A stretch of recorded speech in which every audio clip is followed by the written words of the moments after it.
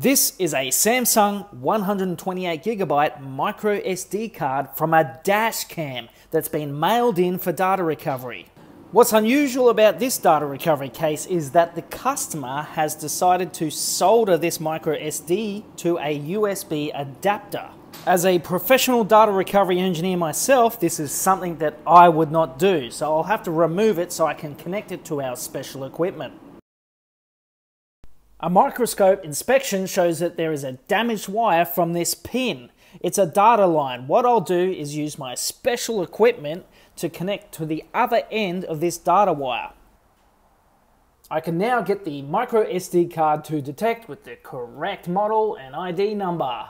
Now I can recover all the dashcam videos. If you need data recovery from a Samsung micro SD card or any micro SD card that's been damaged, you can mail in from anywhere in Australia at zeroalpha.com.au.